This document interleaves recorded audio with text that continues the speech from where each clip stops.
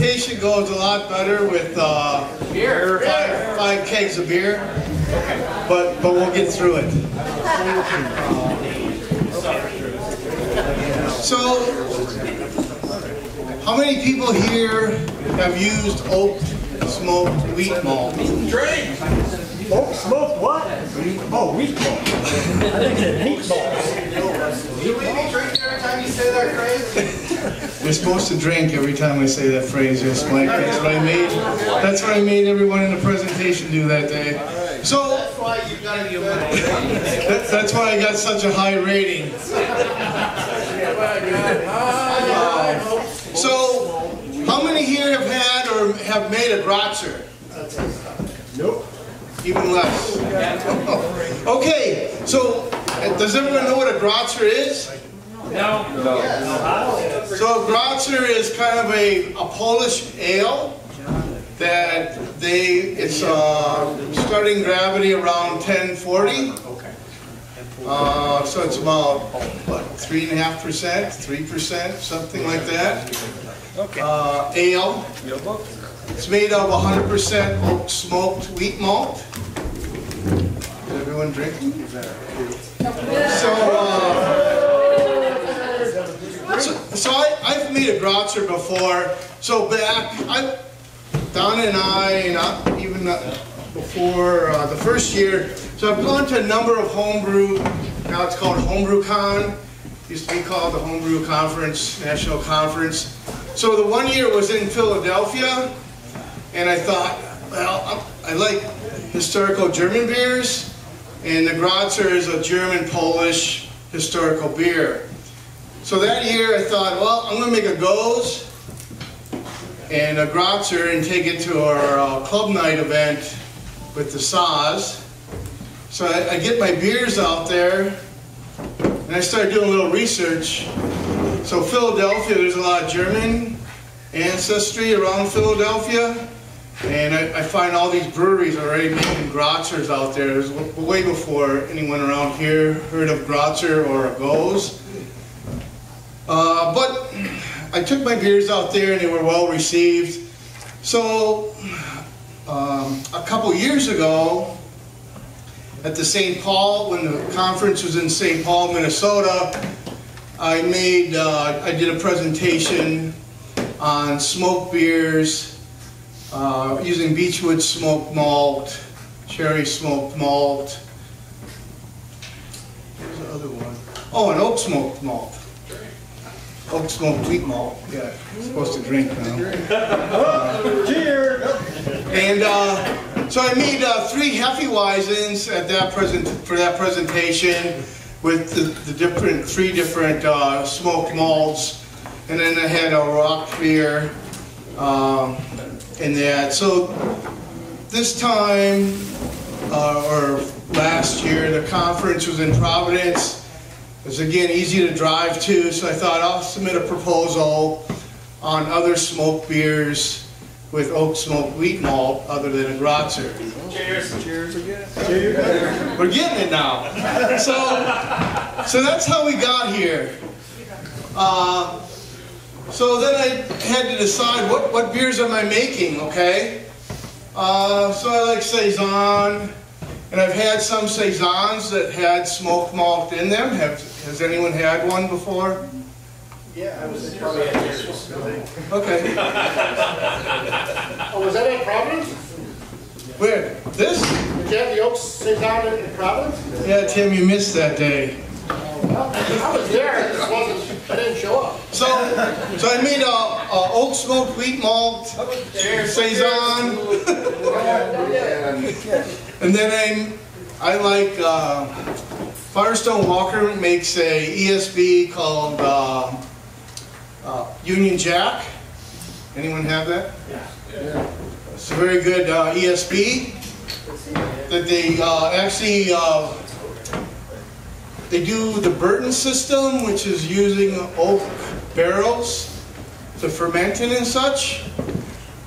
So I did a oak smoked wheat malt, oak aged E ESB. Let's say that quickly.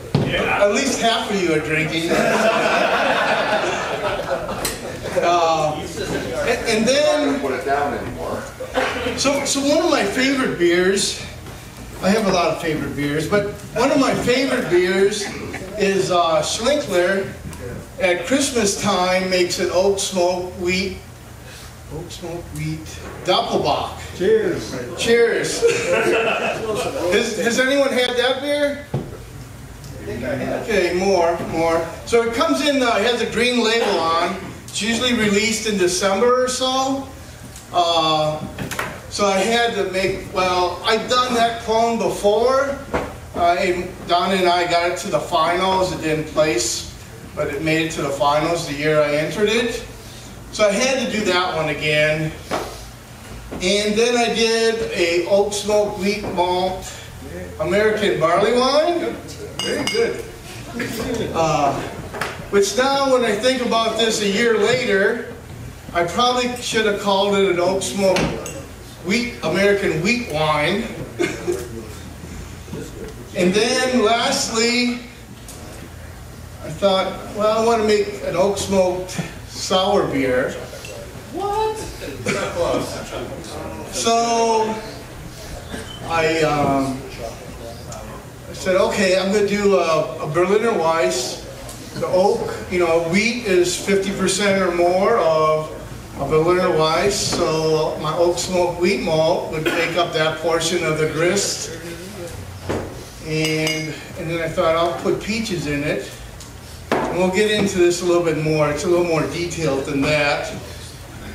So then we'll move on, otherwise we'll be here all night. Yes. So it's uh. so what is oak smoke malt? It's uh. very good. So it's a uh, it's all wheat, right? High enzymatic activity. So maybe when you think of oak, you think of harsh smoke, but it isn't. It's very mild.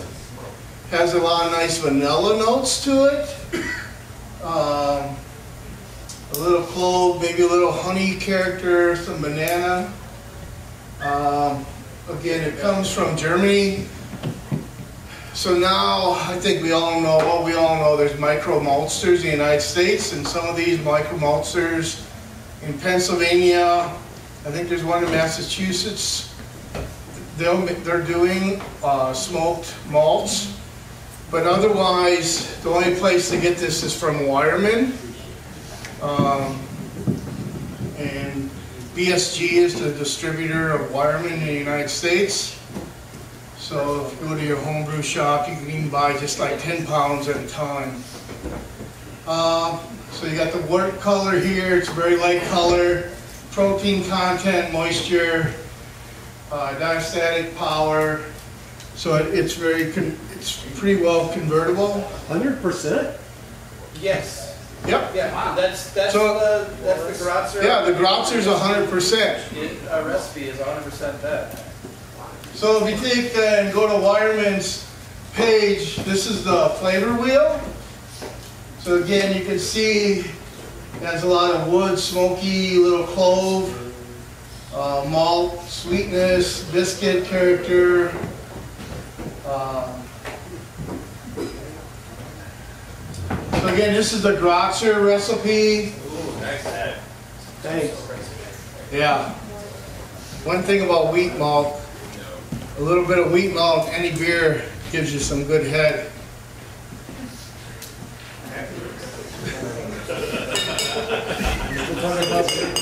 So I wi- I wish, uh, I say? so thi- so this is a, um, so this is a uh, smoked uh, Saison, but it's not a, uh, I think they did use, when I look, I was looking for pictures of beers that would go with my presentation. I think they use a little bit of oak smoke wheat malt in this beer with some beechwood. So the one I made was stri- uh, standard strength, uh, original gravity around 1055. finishing at around two, ABV about seven, 28 IBUs, and then I used a combination of the DuPont and uh, French Saison yeast. If you have any questions on, so I used tw- uh, 29% oak smoke wheat because I didn't want to use, I didn't want to cover uh, the saison characteristics of the beer. So this is my actual grain bill, uh, mash time, a little rye malt for spicy character, some Vienna for toastiness, Spitzel Spalt and Styrian Goldings. Uh, I always uh, carbonate uh, with uh, corn sugar. I like natural carbonated beer. I think it, it holds up much better. In a cake? In a keg, yeah. Just do it the same way you would a bottle. Just take a cup of water. So for like this beer, I try to use about 3.7 or 3.8 ounces of corn sugar, boil that up in chlorinate, uh, dechlorinated water, and uh, pour it in my keg. So what that also does, unless you're closed transferring, it also, that re-fermentation, that natural carbonation is using up oxygen in that keg. So uh, I, I just feel you get a better, uh, a better life, shelf life out of the beer. You spun the beer or no? No, I don't. I, um, I'll get, I'll, I'll degas it if it gets a little high, carbonated. Carbonation gets a little high, I'll degas it a little, but, uh, you know, the yeast that are left in there that ferment out, they drop to the bottom and most of the yeast I use are very sticky. It's like flock, you know, you use a little gelatin or some biofine or something. Um, Do you ever stop fermentation that way though? No, if you- if you think of it as a big bottle, then he puts the right amount of sugar in there, and that's that. I didn't know Paul was talking. Go- I gotta Go ahead. smoke, I gotta smoke pills for them. Do you? No. You didn't mention a smoke pill.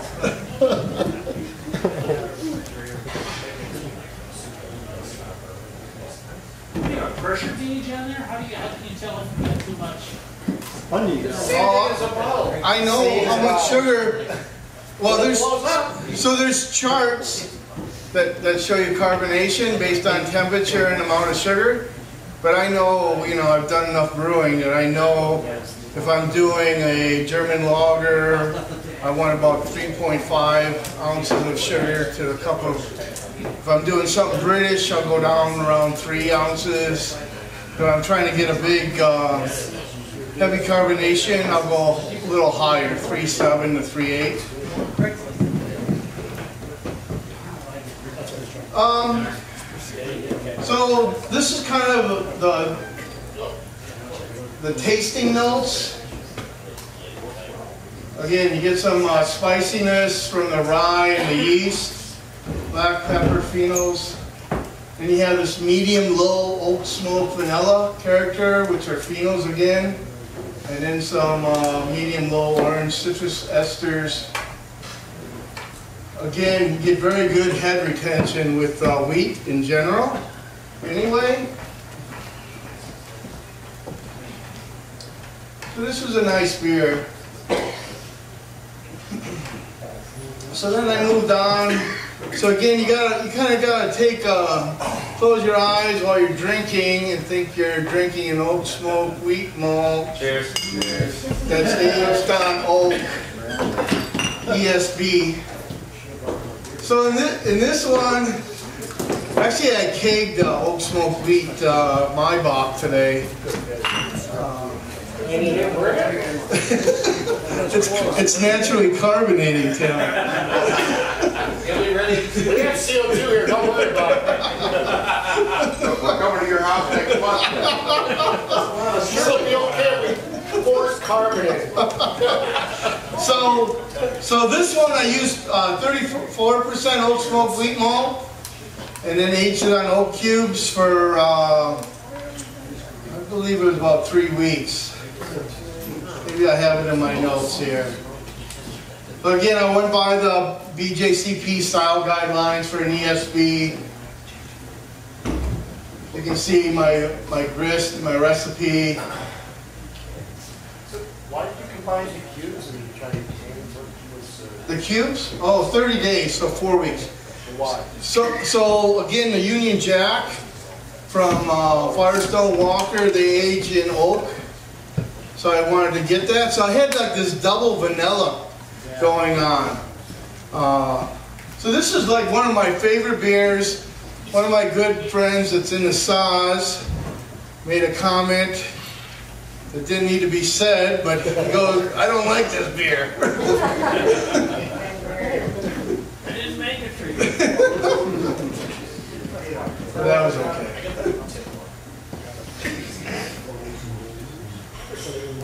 So again, you get some earthy, woody notes, a lot of vanilla, a touch of caramel. You had a nice ESB background.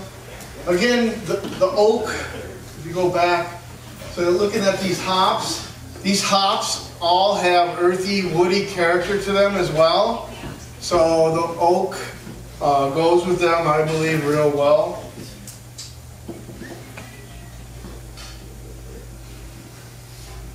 So again, this is one of my favorite beers. The Schlenkerla Doppelbock, released at Christmas time. Uh, so this is 100% oak smoked wheat malt as well. Uh, Very good. Uh, So as everyone, I, I believe everyone here knows, so Schlenkerla, all they do is make smoked beer, and all the other beers they make has beechwood smoke? Is that wrong, Tim? No, that's, well, what's wrong is the Doppelbock, it- it's not made with wheat. Yeah, Yeah, it is. no? Maybe Christmas one. Wasn't a green label, that's a different, Is it, is it oak smoked pilsner? The green label is the oak. but that's a, that's a wheat beer. How do you get a wheat beer as a Doppelbock? Doppelbock's a lager, Wait, let's see. Right here, right here. It's this big. They make it like a Doppelbock. it's two different, okay, but it's two different beers. It's a Christmas beer, it's not a Doppelbock. I'm Yeah, just wondering what, it is a Doppelbock. Can't get a Christmas lager, You look at the yeast too. double box. I mean, it's not a Weizenbock. No, it's not a Weizenbock. It's a Doppelbock. The green, the green labeled one, yeah.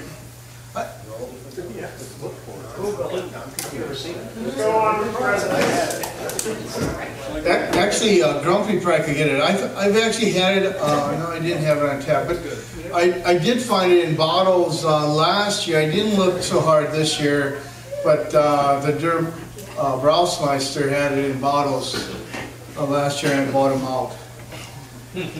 Um,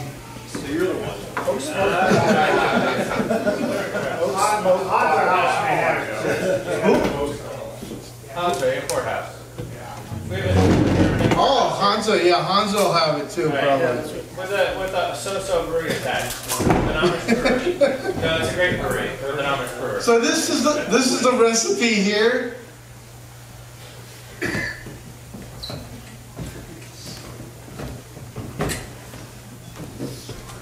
Again, uh, so you have that nice clean lager character, so the oak, smoked wheat malt, vanilla character comes out really nice uh, in this beer.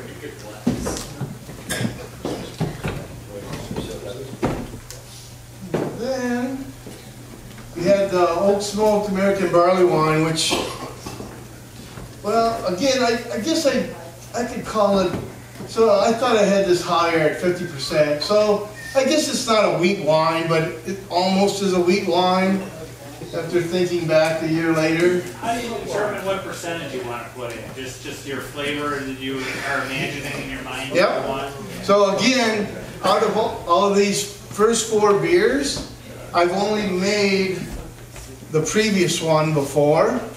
And I kind of took it from notes off of uh, Schlenkerla's website.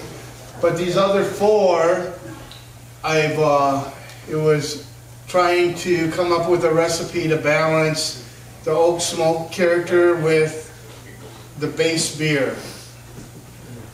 So this one, um, did, did- so did, did anyone in here have this?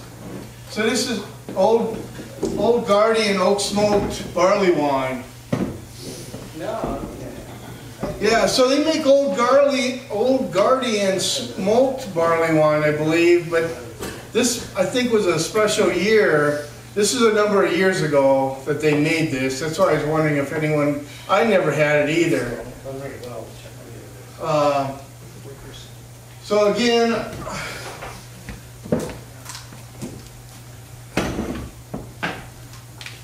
this is my uh, recipe here. So this is very similar to our American barley wine recipe, except for this portion right here.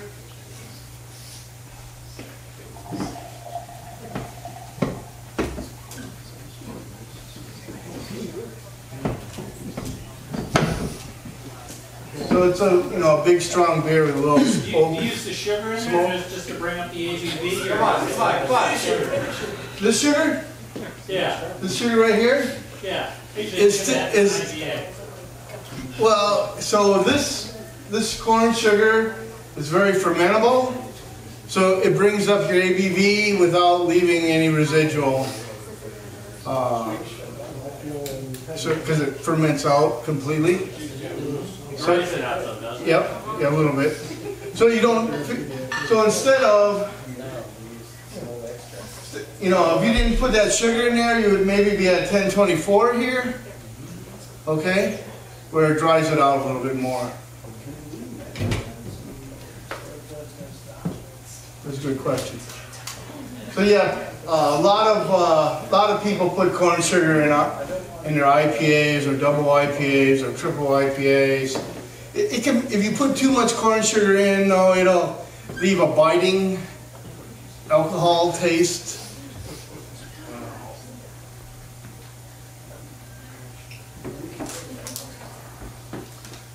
So this beer, this beer and the oak smoked wheat Doppelbock were like two months old when we drank them um, at, the presentation, and they drank really well. So this is uh, the, probably the most interesting beer. Uh, oak smoked Berliner Weiss with peaches. So again, a Berliner Weiss has at least 50% uh, wheat malt, in this case oak smoked wheat malt. Yeah, very good, very good. Uh, 1040 original gravity, so finished very dry. So one thing I, I'd never done before was a kettle sour beer. I, when I've made uh, Berliner Weisses in the past, I've always uh, uh, boiled them, cooled them, put my lactobacillus in for a few days, and then followed with ale yeast, the German ale yeast. So this one, I thought, let's let's do uh, a yogurt uh, kettle sour. So I, I uh, used um, some plain Chobani and plain Dannon, Dannon uh, Greek yogurt and made a, a starter with that. Um, and I thought I had it in here. I don't think I do. No, I don't. So there's um, between them two yogurts. If you look on the different cultures, um, there's like two of them were similar, one was different. So there's a little bit different uh, uh, bacteria, lactobacillus cultures, in the two yogurts. So then I boiled for like 15 minutes, cooled to um, 120, a little lower than 120, pitched into my boil kettle, my yogurt starter, and then it was about 36 hours later, I was at a pH of 3.5. So I boiled again for another 15, 20 minutes, cooled, and then pitched. At that time, I had some free uh, Safale 05. Pitched that in there. And then, um, after that primary fermentation was done, I used t- 12 pounds of peaches. And to me, this added this preservative-free uh, peach jam, a pound and a half, really bumped up the peach flavor. Uh, at least in my mind, it did. So here's uh, here's a recipe. Again, have- make sure you have no sulfites if you do use peach jam. Sulfites will uh, help prevent any uh, fermentation or natural carbonation. Uh, so this beer, when you went to uh, drink it, it, it actually had, and I think it's from just that little bit of yogurt, it kind of had um, a creaminess with the peaches of like a milk, even though there's no lactose or anything in here, it had this peaches and cream sour uh, character to it. Uh, was very, very unique. Uh, and uh, everyone, it, it had uh, very good reviews from everyone in the audience. There seemed to. So I had uh, someone contact me after the presentation, and they were in Florida, and they used uh, mangoes instead. I told him he should use a little more mangoes than he did. It came out real well though. Uh, it was a little lacking on the mangoes. That's one thing in fruit beers. You, you really need to, if you think you have enough fruit, you need to add more. The other thing I did here, I cooked my peaches uh, up to like 125 or a little higher.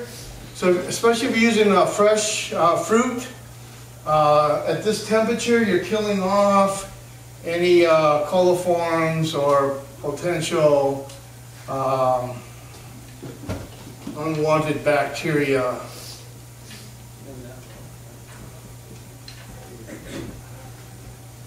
So I guess, um, does anyone have any questions? About what? You've gotta say it. We still got beer in our glass. See, you used to. Oh, Does anyone have I any have to get a questions refill. about Oak Grove wheat malt? Have What's that over here? Yeah, you use two different types of yeast. Would you use, I mean, when you, In what? the, the initial recipe you showed us, Which one? the initial recipe. Oh, the Saison. Yeah, had two Yeah, different kinds of yeast. yeah. Was it a primary or a secondary, or was No, uh, so I've done it both ways. This time, I pitched them at the same time, but normally I would put the DuPont yeast in a few days early first, and, and then wait like three or four days, and then put the French Saison. So the, the French Saison is, it, it helps, the DuPont yeast can stop, uh, stall out at, on you if you don't give it enough time, where the French Saison will just keep eating away uh, at the fermentable sugars and dry out your Saison very nicely. Um, do you use oak smoked barley malt? Close enough. No, I have never got, I don't, I, so maybe some micro maltsters have it, but I, I haven't never seen. All right. Yep, good question though. Smoke your own. You can smoke your own. Rich, do you mean pale malt? Are you talking about pale malt? Oak smoked. Probably Yeah. pale. Yeah, oak smoked pale malt.